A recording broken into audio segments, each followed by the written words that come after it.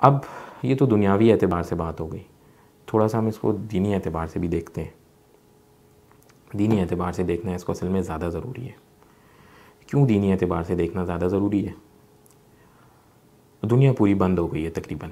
جب سے وائرس آیا ہے، تیسرا مہینہ ختم ہو رہا ہے December thirty first March thirty first تیسرا مہینہ ختم ہو رہا ہے اور دنیا پوری بند ہو گئی ہے۔ اس وائرس کو جو نام دیا گیا ہے، وہ کووڈ نائنٹین ہے۔ کیا نائنٹین پر گنتی ختم ہو جاتی ہے؟ تین مہینے اور کل یا پرسوں غالباً یو کے کے پرائم منسٹر کی کوئی نیوز کلپ میں نے ریڈ کی ہے۔ اور اس کے اوپر وہ کہہ رہے تھے کہ شاید ہم اکتوبر تک لاک ڈاؤن کریں۔ وہ خود انفیکٹ ہو گئے اس سے۔ وہاں پہ کوئی ان کے پرنس بھی انفیکٹ ہو گئے اس سے۔ تو اگر یہ اس طرح سے لاک ڈاؤن کرتے ہیں تو ابھی نائنٹین چل رہا ہے، کووڈ نائنٹین ہے یہ۔ تو کوئی ہمارے پاس کوئی شیورٹی ہے کہ ٹوئنٹی نہیں آنے والا، ٹوئنٹی ون، ٹوئنٹی ٹو نہیں آنے والا؟ یہ ہماری زندگیوں میں نہیں آئے گا۔ تو ہمیں اس کو دینی اعتبار سے سمجھنا ضروری ہے، کیونکہ دنیاوی اعتبار سے تو ہمارے سامنے ہے نا سچویشن وائرس آ گیا ویکسین کوئی نہیں ہے۔ بڑے مزے کی ایک ایک اسٹیٹس آپ سے شیئر کرتا ہوں اس وقت۔ اٹلی اسپین اور فرانس پاپولیشن کے حساب سے ورلڈ میں ہیلتھ کیئر پرووائڈرس میں ٹاپ ٹین میں تینوں فال کرتے ہیں۔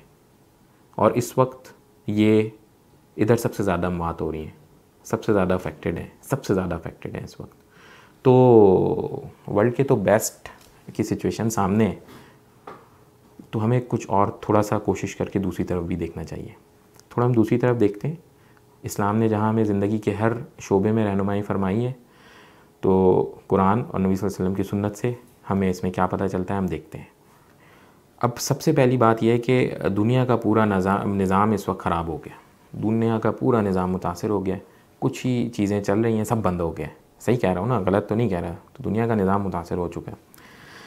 تو اچھا ایک منٹ پہلے ایک چیز کنیکٹ کروں یہاں اسلام آباد میں کیونکہ پولین کا ایشو ہے، تو اکثر ناکوں میں، ناک میں، آنکھوں میں جلن لوگوں کو شکایت رہتی ہے پولن کی وجہ سے۔ بس اس وقت خیال یہ رکھنا ہے کہ ہاتھ سے یوں کرنے کے بجائے آپ نے کوئی نہ کوئی اپنا کلوتھ یوز کریں۔ آنکھوں میں بھی ہے تو کوشش کریں، ایسے کریں۔ ادروائز زیادہ ہی اگر دل چاہ رہے تو اٹھیں، پہلے ہاتھ دھوئیں جا کے اور پھر اس وقت کریں جو بھی کرنا چاہتے ہیں۔ اچھا دنیا کے نظام متاثر ہو گیا، دنیا کا پورا نظام۔ دنیا کا نظام متاثر ہونے کی وجہ۔ تو قرآن کی ایک آیت میں آپ کے سامنے پڑھتا ہوں، سورہ روم کی آیت نمبر اکتالیس۔ اعوذ باللہ من الشیطان الرجیم۔ ظہر الفساد فی فی البر والبحر بما کسبت عید الناس لیوزیقہم بعد اللذی عملوا لعلہم یرجون لوگوں نے اپنے ہاتھوں جو کمائی کی، اس کی وجہ سے خشکی اور تریم فساد پھیلا، تاکہ انہوں نے جو کام کیے ہیں، اللہ ان میں سے کچھ کا مزہ انہیں چکھائے، شاید کہ وہ بعد آ جائیں۔ متاثر ہو گیا، اللہ تعالیٰ نے قرآن میں ہمیں بتا دیا ہے کہ جو کام کیا ہے یا جو کام کرتے آئے ہو، اس کی وجہ سے سارا نظام خراب ہو گیا۔ اور تمہیں سکھانے کے لیے اللہ تعالیٰ یہ اس طرح کے معاملات کرتا ہے کہ تم شاید باز آ جاؤ، شاید ہم باز آ جائیں۔ اس سے آگے اور آ جائیں۔ سورہ شورہ کی آیت نمبر تیس ہے۔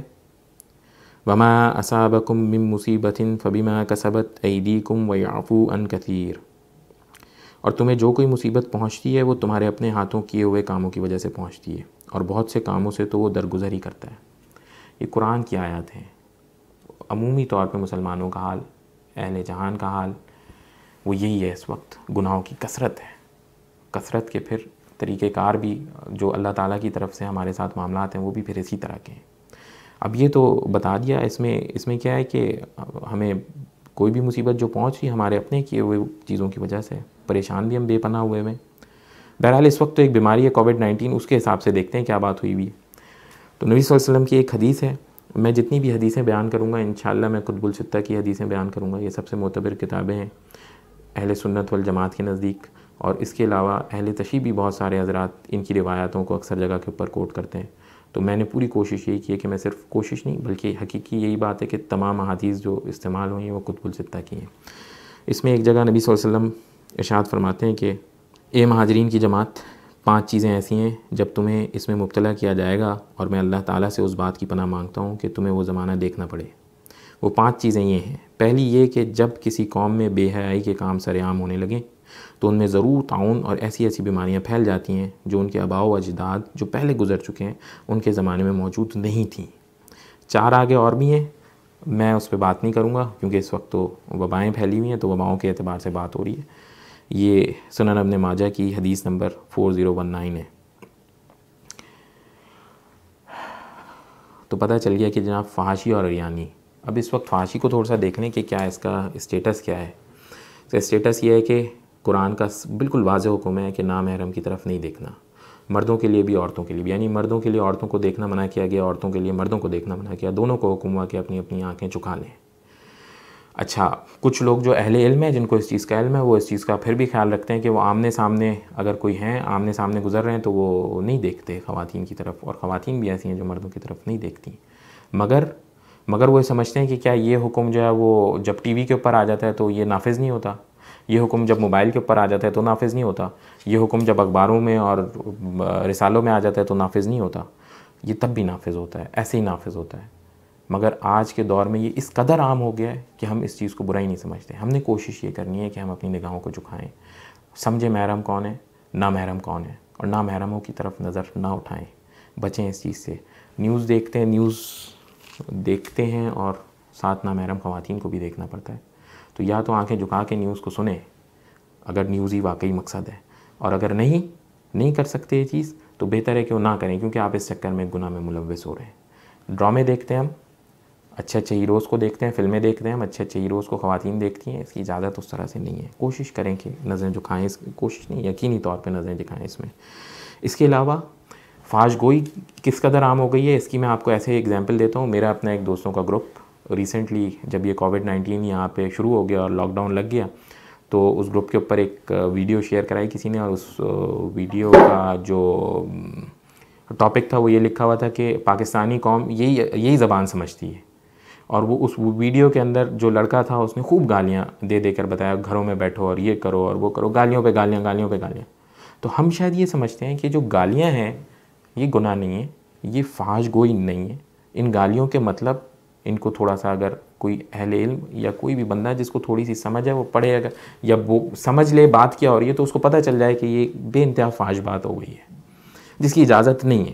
اس کے علاوہ آئے دن چونکہ میں کمپیوٹر انجینئر ہوں، تھوڑا یہ انہی ساری چیزوں سے تعلق ہے میرا، تو میں دیکھتا ہوں کہ ٹویٹر کے اوپر اس طرح کی باتیں کبھی کبھار ہمارے یہاں، ہمارے ملک پاکستان میں ہونا شروع ہو جاتی ہیں، گالیاں ایسے ایسے شروع ہو جاتی ہیں، جھوٹ ایسے ایسے شروع ہو جاتا ہے کہ ایک دوسرے پہ تہمت لگانا اور وہ بھی اس لیول کا کہ جو ڈیفائن ایسے نہیں کیا جا سکتا۔ یہ سارے گناہ ہیں۔ ان گناہ کے سبب اللہ تعالیٰ نے ہمارے اوپر اس اہل دنیا کے اوپر اس وقت یہ مصیبت بھیج دی ہے۔ وبا کی صورت میں ہاتھ پاؤں سبوں کے ٹھنڈے ہو گئے ہیں۔ سو پھول چکے ہیں کچھ بھی نہیں ہے کرنے کرانے کو۔ کتنی ساری انڈسٹریز ہم کہہ رہے ہیں دس پندرہ ہزار روپے والا جو بندہ ہے، جو ڈیلی ویجز والا ہے، وہ پریشان ہے۔ اس وقت اکتیس مارچ ستائیس اٹھائیس کو لوگوں کی تنخواہیں پروسیس ہوتی ہیں۔ میں جانتا ہوں ایسی کمپنیز کو جہاں کے اوپر جو وہ لوگ ہیں جن کی ستر اسی ہزار روپے تنخواہیں ماہانہ کی، ان کی تنخواہیں دینے کے لیے پیسوں کی مشکل ہو گئی ہے سچویشن تو اس وقت بات اب اگر خدا نہ آستہ یہ چیز پریویل کر جاتی ہے نا، تو بات صرف یہ دس ہزار والے کی نہیں ہو رہی، پندرہ بیس ہزار والے کی نہیں ہو رہی، تو بات لاکھ والے کے لیے بھی ہو رہی ہے۔ گھر تو چلانا ہے نا، تو جب بالکل بھی تنخواہ نہیں ملے گی تو کیسے چلے گا گھر؟